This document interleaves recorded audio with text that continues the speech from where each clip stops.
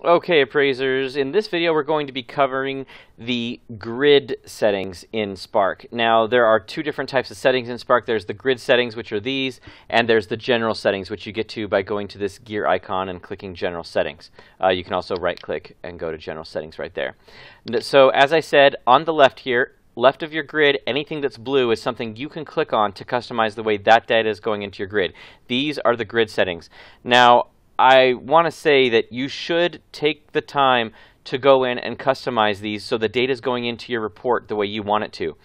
A little bit of time up front is going to save you a whole bunch of time in every single report going forward. So once you get this how you want it to be in your grid, then you'll never have it's going to save you a ton of time going into your report later on and kind of customizing. Let's say you don't like FAU, you want it to be FWA. Instead of going into your report every time after you use Spark and, and changing these, you can just change it right now, right up front, and never have to do that again. So it's worth it to take some time right at the beginning when you first start using Spark to go in and customize these. So, okay, that being said, let's go ahead and get right into it. Let's, since we talked about FAU, let's go ahead and look at that setting. So if I want to change the way this looks in my grid, I just click Heating Cooling find forced air, and I change that. So I'm going to change that to FWA. I, I like using forced warm air, FWA. Uh, also, I want to point out that anytime Spark has access to both public records and MLS data for a specific feature or property characteristic, you're going to have these top two drop-downs. One, where you can decide whether you want to prefer MLS or public records as far as the data that's going into your report, or just leave it blank. And you can also choose to turn on or off the public record MLS comparison. So let's go ahead and turn that off. We'll say no. Hit Save Changes and take me back. Now you can see that on the heating and cooling line, what was FAU is now FWA, and this was red because there was a discrepancy between MLS and public records. I said turn that off, so now it's no longer showing up as red.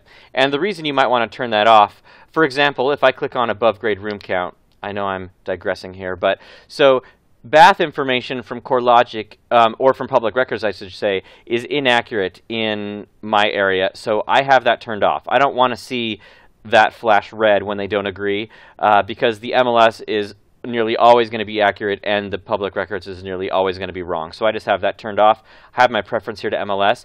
Now for total room count, I don't get a total room count in my MLS, but I do in public records. So right here I chose public records as my data source preference.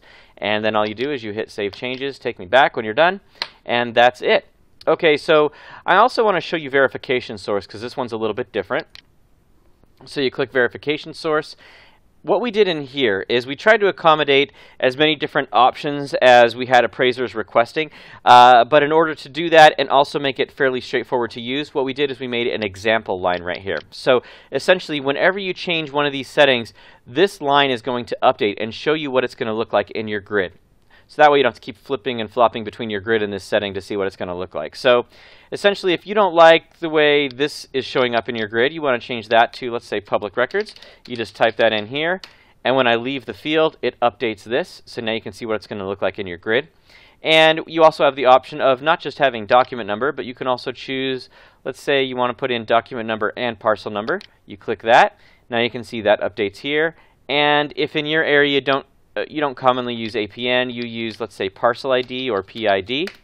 Then you just hit that, and that updates as well. And then when you're all done making the changes, you just hit Save Changes, take me back, and that is what goes into your grid.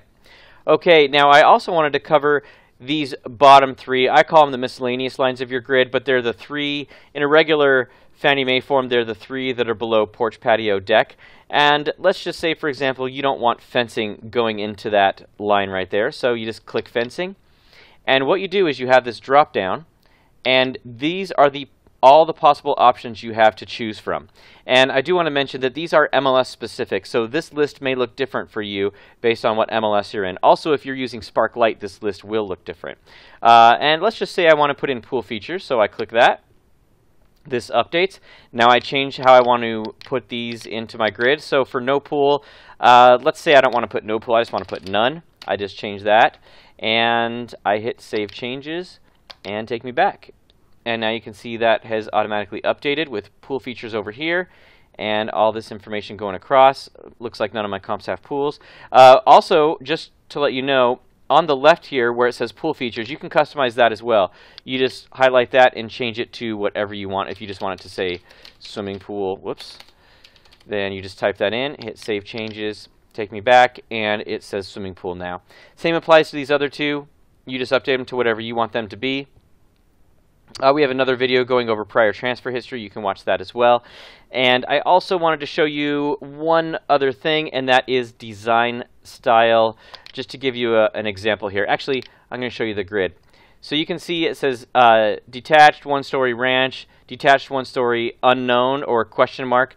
This Spark, whenever Spark doesn't know what to put in, um, usually that's because the agent didn't enter any information in for the architectural style, for example. It will put in whatever your abbreviation is for unknown. By default, it's a question mark, but you can, with the general settings, you can change that to whatever you want, and we cover that in the general settings video. So you click Design Style, and you'll notice that down here at the bottom you have a default style. Now in your MLS this actually may be up at the top, but for a lot of you it's at the bottom.